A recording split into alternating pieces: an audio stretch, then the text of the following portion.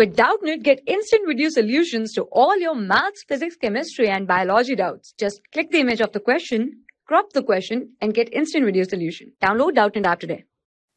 Hello everyone. So in this question we are given that nucleosome is made of.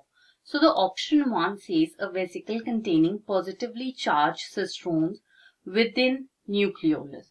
So first of all we should be knowing that what is a cistron right? So we can say that cistron, they are a section, right?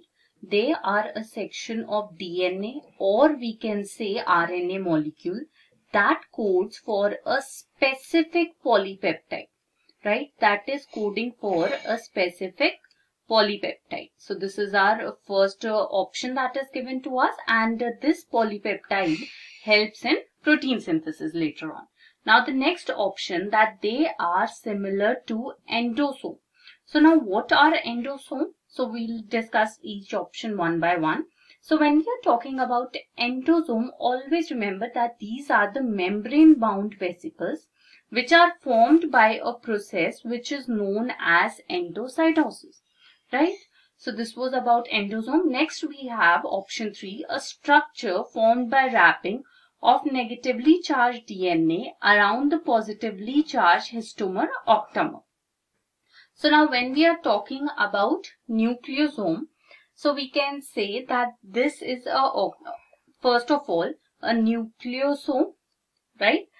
The, there are histone proteins, right? When we are talking about a nucleosome, it is a structure in which the histone proteins are present and these histone proteins they are made up of amino acids and they are positively charged. Right? So around these histomers so eight histomers form a octamer.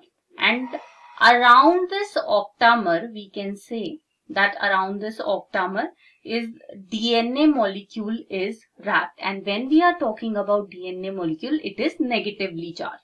So this complex structure is known as a nucleosome so this is our answer. But now let's discuss our fourth option that is they are transforming principle discovered by Griff. So the scientist Griff he performed experiments on a bacteria and he could find that there was one S strain and one R strain and there was something which converted the R, R strain into the S one. The, so that is something related to transforming one.